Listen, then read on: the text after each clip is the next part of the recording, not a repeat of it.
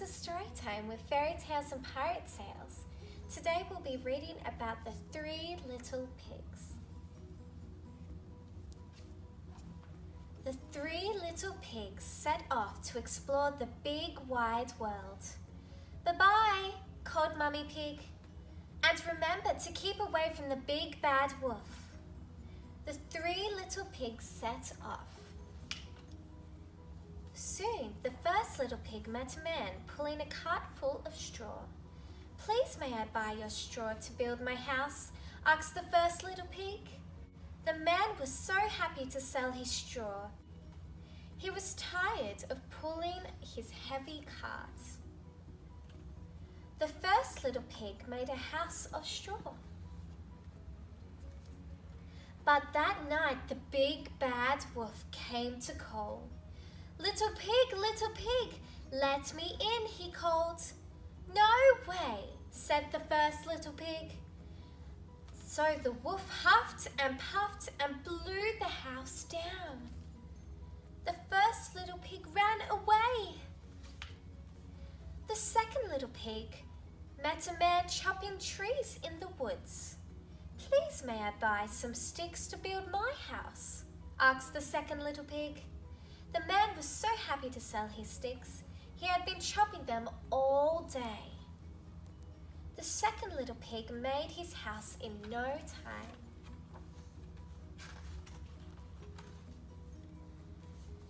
But can you guess who came to call? The big bad wolf. Little pig, let me in, he called. No way, said the little pig. So the wolf huffed and puffed and puffed again and blew the house down. The second pig ran away as fast as he could. The third little pig found some bricks. I'm going to build my house with bricks, said the third little pig to himself. He carried the bricks to the top of the little hill. He laid the bricks, he hammered and sawed. He put on the roof and the windows and the doors. His brick house took a long time to build. The third little pig had a good, strong house. No sooner had the third little pig finished his house than he saw his brothers. They were running as fast as they could because the big bad wolf was chasing after them. Come and hide in here, he called. The two little pigs came rushing inside and the third little pig slammed the door shut. Go away, you big bad wolf, they shouted, but the big bad wolf wouldn't go away. Let me in, he called. You can't come in, said the three little pigs. So the big bad wolf huffed and puffed. Nothing happened. He huffed and puffed again. Still, nothing happened. The big bad wolf blew so hard he made himself dizzy. The three little pigs were safe inside the brick house.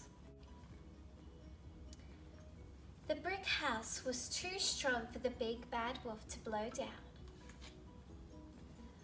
I'm coming to get you, growled the big bad wolf. He started to climb down the chimney. The three little pigs were cooking a big pot of hot soup in the fire.